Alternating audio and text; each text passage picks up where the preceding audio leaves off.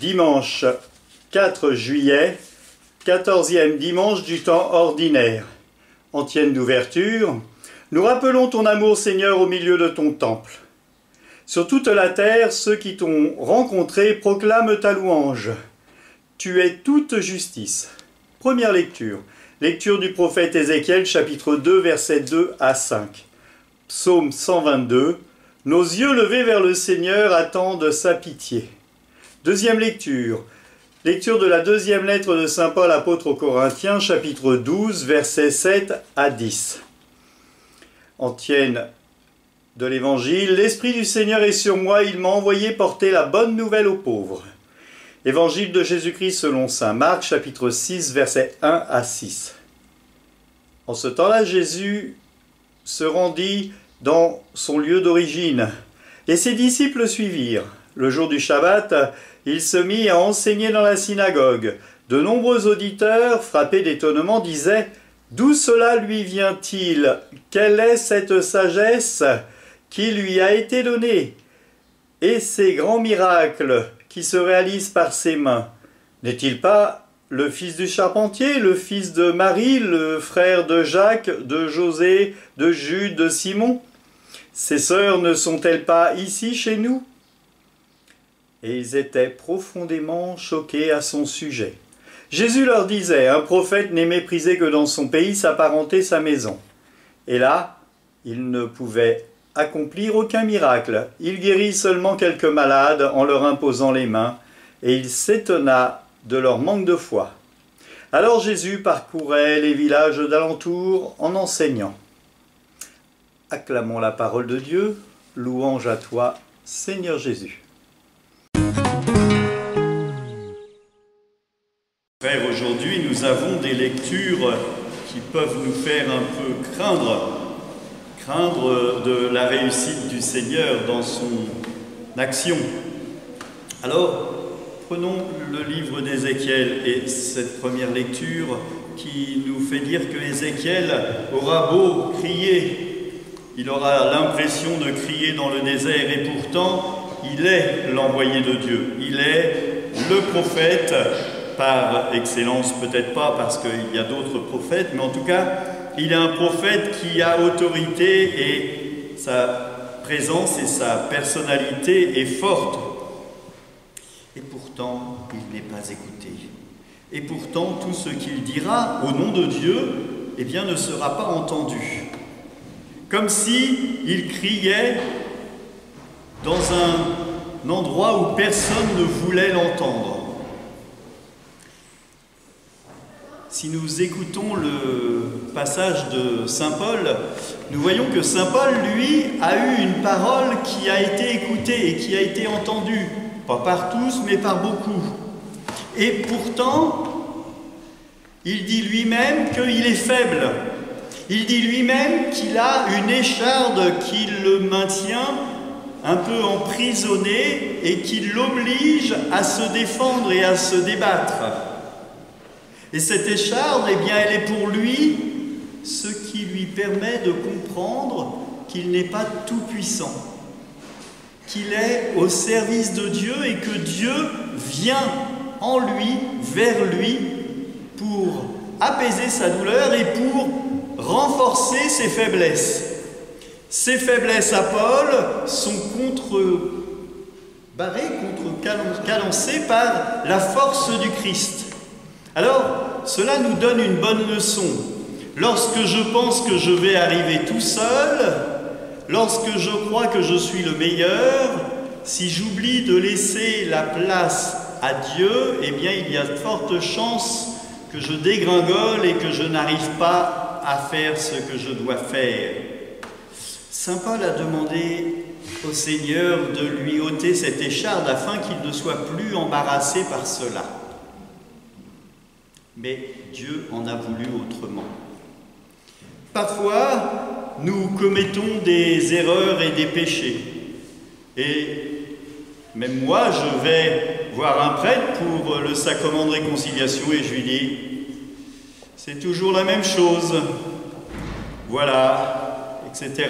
Et je lui dis mon péché habituel, en espérant que le Seigneur m'en délivre, mais régulièrement, mon humanité reprend le dessus et le diable qui me tend et bien gagne, et je retourne voir le prêtre en lui disant, c'est toujours la même chose.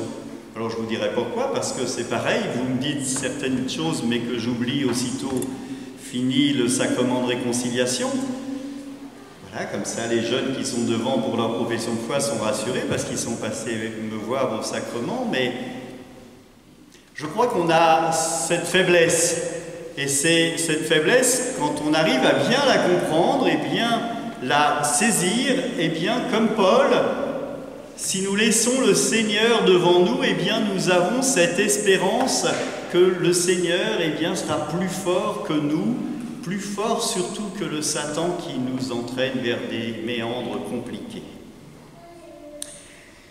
Aujourd'hui, Ethan, Samuel, Mathias, Mathias, Mélis, Méline, Jessica, Laetitia, Monica, Laura et Alexandre vous réitérez votre profession de foi que vous avez fait hier. Et j'ai lu certains de vos commentaires, et certains de vos commentaires, vous avez marqué Le Seigneur est présent avec moi quand je suis dans la joie et que je suis dans la peine.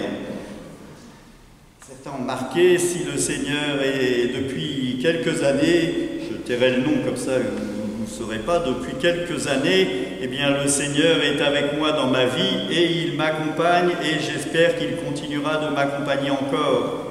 Donc vous êtes comme Paul, vous avez bien compris que vous avez des faiblesses et que le Seigneur, il va vous accompagner encore et encore. Et lui, il est fidèle et il vous aime.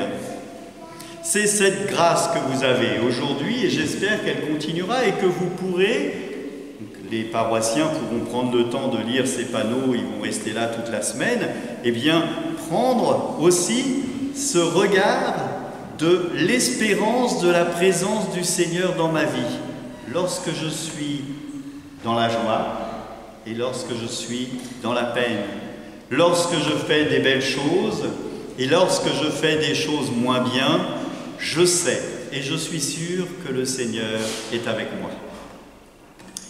L'évangile, eh bien, nous ramène à cette première lecture où nul n'est prophète dans son pays. Et le Christ arrive chez lui, dans son village, dans sa maison, dans ce lieu où il est connu par tout le monde. Et il vient dans la synagogue pour expliquer la parole. Et on sait que le Seigneur, quand il parle, il parle avec autorité. C'est écrit dans la Bible, le Seigneur fit un procès, il parle, regardez comment il parle, il parle avec autorité et non pas comme les scribes qui ravagent des choses, lui il parle avec autorité. Et là il parle avec autorité puisqu'il est dans la synagogue. Mais il n'est pas compris, il n'est pas entendu.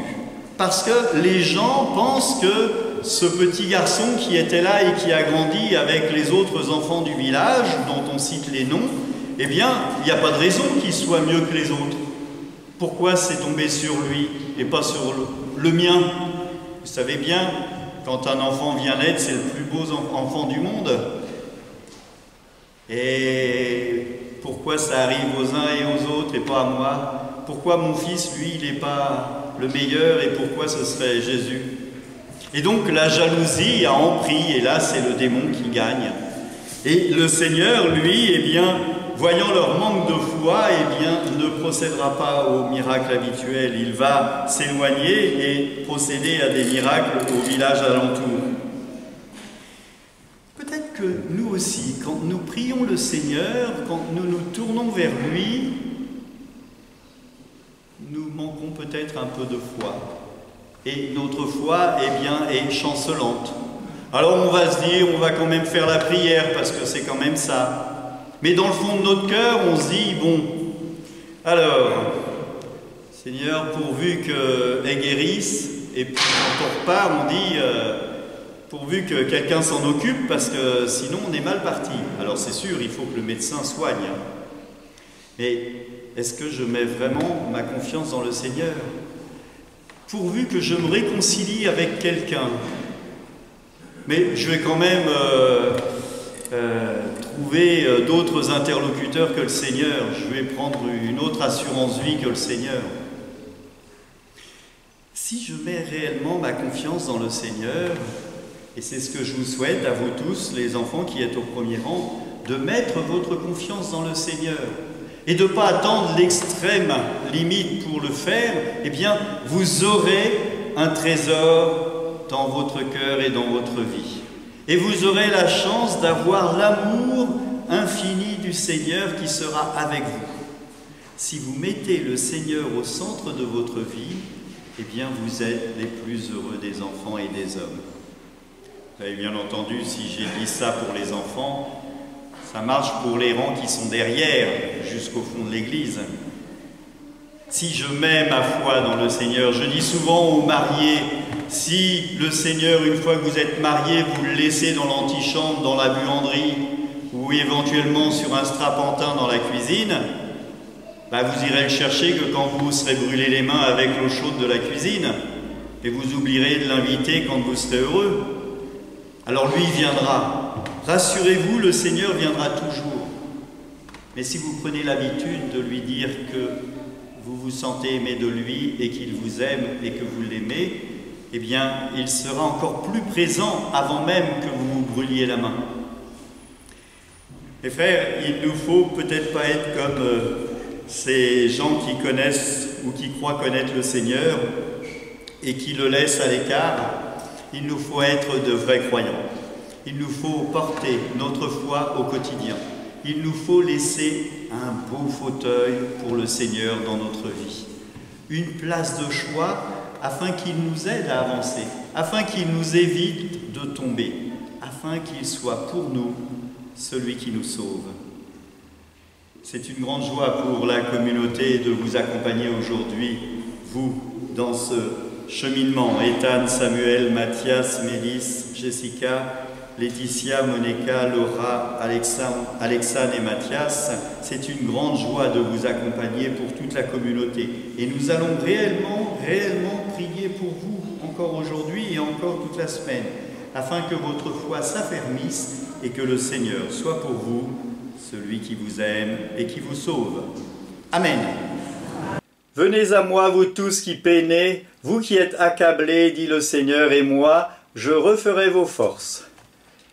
Eh bien, que le Seigneur vous accompagne en ce dimanche de début de vacances, que vous puissiez eh profiter des vacances pour vous ressourcer. N'hésitez pas à mettre un pouce, mais aussi n'oubliez pas de prier le Seigneur et puis d'être attentif à sa parole. Prenez soin de vous, prenez soin de vous, que Dieu Tout-Puissant vous bénisse, Père, Fils et Saint-Esprit. Amen. Allez, dans la paix du Christ, nous rendons grâce à Dieu. Alors pour information, il y aura toujours le dimanche une vidéo sur cette chaîne YouTube et il y a aussi la chaîne TikTok Thierry Louis 95. N'hésitez pas à partager cette information. Au revoir.